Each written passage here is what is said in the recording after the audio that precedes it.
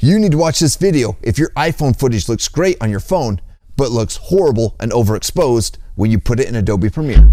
This issue will make you want to pull your hair out. And the bad news is, is the Adobe 2024 update won't fix this issue. It barely helps. I watched every YouTube video I could find.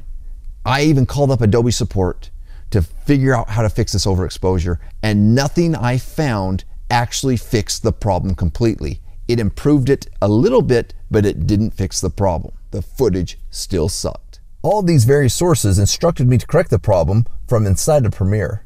You see, the iPhone shoots at BT 2020, which is a color format that Adobe Premiere doesn't recognize. So Adobe Premiere instead recognizes it as Rec 2100 HLG. And this is why your footage is overexposed when it's in Adobe Premiere. All the experts on YouTube and the Adobe support told me I needed to change to new settings in Adobe Premiere, such as going to Lumetri Color, Settings, Sequence, Working Color Space, and changing Rec 2100 HLG to Rec 709. You can try it, but this doesn't work. This is how you really fix it. It's in your iPhone. Simply go to Settings, Camera, Record Video, and then switch HDR video to off. And that will fix the overexposure problem on the video you shoot going forward.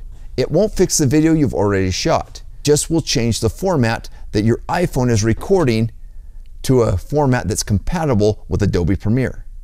So, until Premiere can catch up to the iPhone's HDR format, hope this video can help you overcome your overexposure problems.